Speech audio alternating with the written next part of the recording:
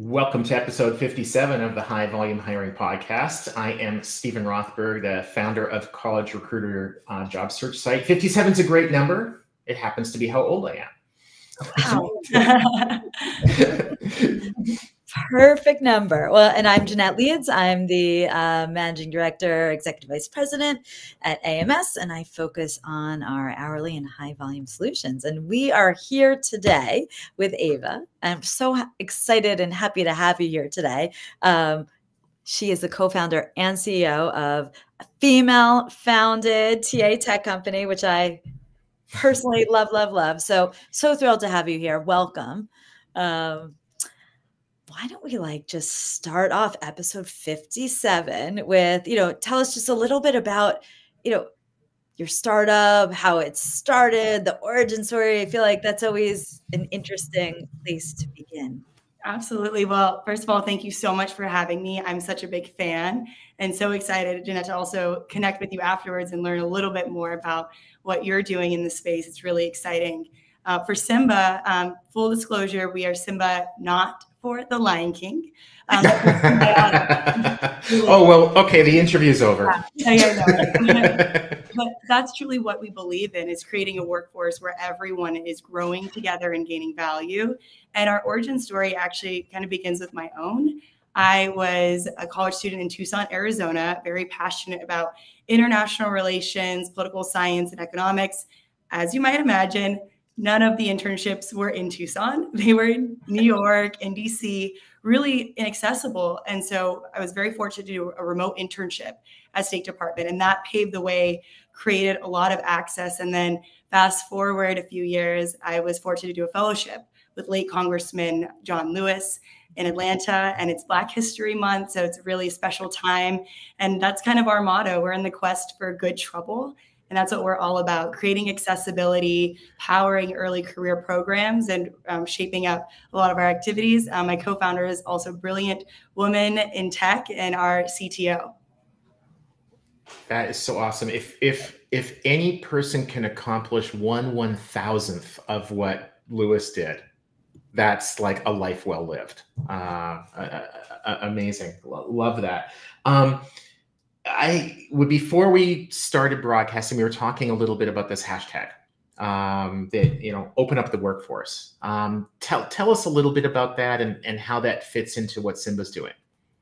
Absolutely, and I am excited to get your take on to, what it means to you because actually I have my own podcast and I bring on leaders to talk about what open up the workforce means to them and hmm. how they think about actually manifesting that in the work that they do, whether it be skills based hiring, um, creating opportunities from different talent pools, reskilling, upskilling. So for us, what that initially meant was there's just not enough learning on the job opportunities, right? In order to get your foot in the door to access some of these internships, some of them are more competitive than getting into Harvard.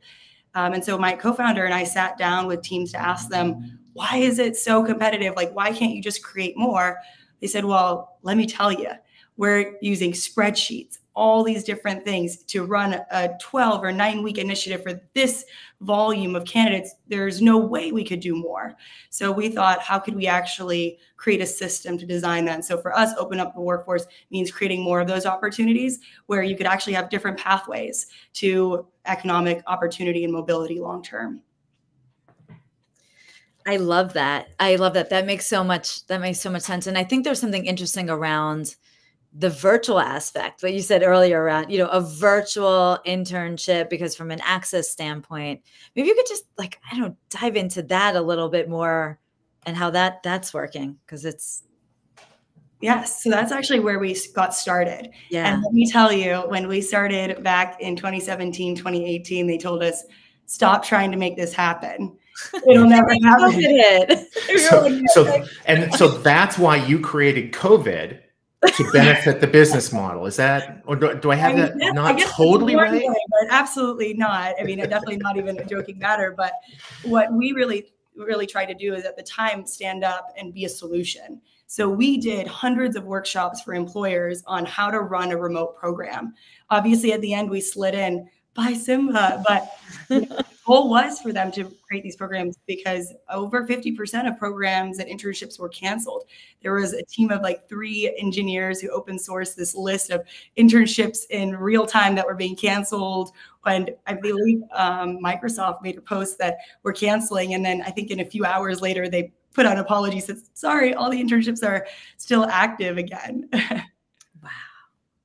The, the, um, I think the word that we were using in, in 2000 into 2021 was was adapting mm-hmm. right? That that that an internship that you were going to show up in person and you know work in a manufacturing facility or whatever it was going to be uh, well that's probably a bad example because most of those jobs had to be in person but in office kind of an internship marketing whatever that the companies had to learn how to adapt them.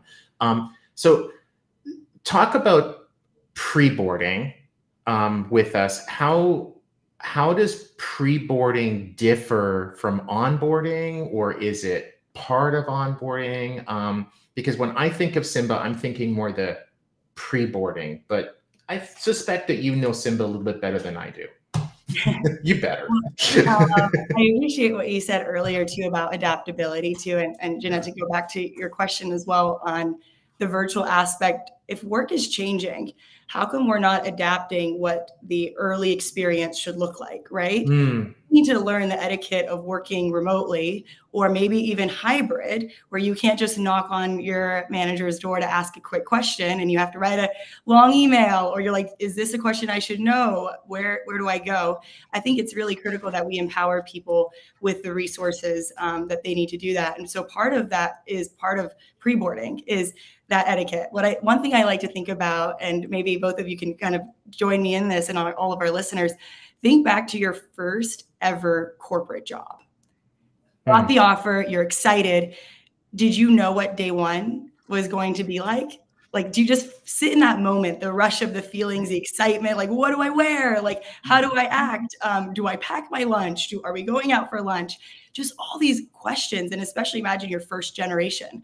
Your parents haven't even worked in a corporate setting. So, how do we really remove some of that anxiety by creating transparency and giving you access to things that we can give you access to, right? Why are we, you know, why is it a black box until you start at our company? We can demystify it, we can engage. And I think for Jeanette, your work in high volume hourly, this is um, compounded exponentially because folks who are applying for these hourly roles are applying to 20 plus roles at the same time. And if mm-hmm. someone's paying 10 cents more, well, then they're not working there anymore. So, how are you getting them excited and invested in joining your company once they've said yes? And so, I think that's really important as we think about how just all generations are really more fluid now. I think everyone thinks it's just Gen Z, but everybody's moving around a lot more. So, I think it's really critical how we think about this for all segments of our workforce. So I want to hear Jeanette's first day, first professional job. Oh story. my goodness. First professional like after college, post grad. It was actually in an ad agency. So I started off as in an ad agency and I'm trying to remember like what did I even wear? It was in like New York City and you know, I, I have no idea what, what I wear. I don't know if I brought lunch. I just but that excitement of like, ooh, you know, it was like a cool hip place. So I'm like, okay so I don't, I don't remember. And then fast yeah. forward like a couple years later, ended up doing campus recruiting on Wall Street, which was like night and day, and sort of found mm-hmm. my passion in recruiting and, and whatnot. But uh, I don't remember what that first day was like either. But uh, definitely wore a suit. it's interesting. And and and I'll share mine if it's okay. Um, but I suspect Jeanette that your experience was probably like mine, and probably like a lot of clients of Symba's and, and others. That people show up and they don't most of what they should most of what they would want to know they don't know. You know like again are we going to go out for lunch or should i bring a lunch? Right. um, or is or is the culture work through lunch? So you know you better have something. Or do you wear do you wear what you wore to the interview or were you grossly overdressed grossly underdressed? You know like all that kind of stuff. Like even just like where you go. So i remember um, i was in college was working for an accounting company doing like i was basically like a computer consultant. Mm-hmm. And I showed up at the office, the the accountant's office, the first day, and they were like, "Why are you here?" Oh, jeez. Oh my god. It's like, well, what do you, you know? I don't remember like the details, but I remember like, what do you mean? And like, I had like this sense of panic, like I didn't have a job, mm-hmm. and the partner in charge who I reported to was supposed to have told me meet him at the client site because I was going to be, and I didn't even know it, but I came on site the whole summer at this one client site. So going into the accountant's office was like the stupidest place in the world for me to be. Wow. Um, so like they just so it's like get in the car and like drive over there. I probably I didn't get a speeding ticket, but I'm sure I was speeding. um, but uh, yeah, I mean, I'm in a panic, Steven. Right? Like like that doesn't feel good. And then yeah. it, it, throws you off for the rest of the experience. And what you just shared is kind of like what we see is some of the biggest challenges from like pre-boarding to onboarding and getting set up. There's just so many people involved. It's like a game of hot potato and you're just hoping that they are you know still passing it all along but you have no visibility. Absolutely. Awesome.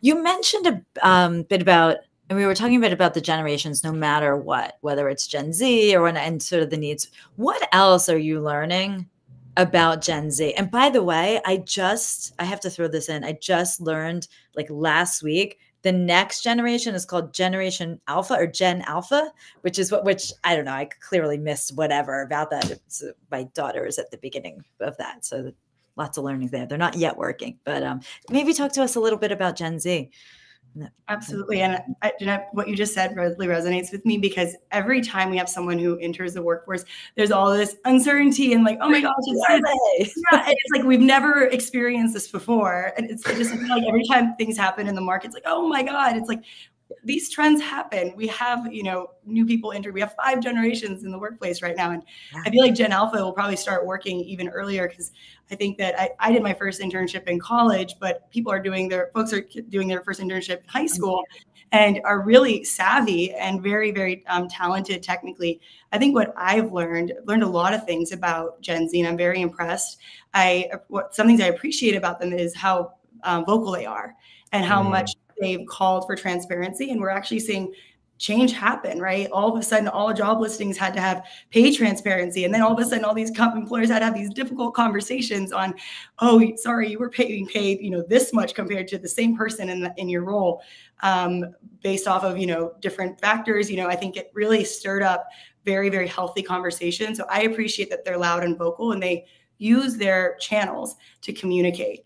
I think that when we look at other generations, they didn't have access to information this readily available. And so when you don't have the inside scoop on everything, you kind of don't know that the grass might be greener on the other side or that you could be, um, you know, having that kind of experience. So I think it's really great that we can use some of these tools for good. And I'm excited for Gen Alpha to make even more waves.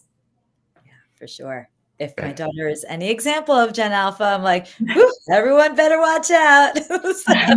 yeah, and I, my my wife and I have three adult kids. The youngest is is 20, well, almost 25.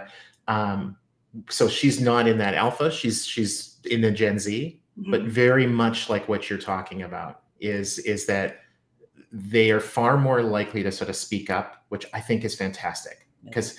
As a manager, if you don't know that there's a problem, with with with your employee. They a sick relative or whatever it might be you can't fix it if you don't know that it exists. Um, and what i see from them that's different from my generation is that we we perceive things as being a problem but we just sort of kept quiet because we felt like we had to accept it. And this generation i think they have more choices. It's like if you're going to treat me poorly i'm going to go work someplace else. And and and and they're right. They should life is too short. So, um, well, we have reached the end of our time. Um, but Ahva, this was fantastic. Um, for people who want to reach out to you, which I think is going to include Jeanette, um, how how should they reach you? You can find me on LinkedIn, and I believe Steven, you're going to post the link, um, and also check us out at Symba.io. But really appreciate the opportunity. Love this conversation. I only wish we had more time together. Awesome. Thank you so much. To be continued. Yes. Thank you, everyone. Bye. Thank you.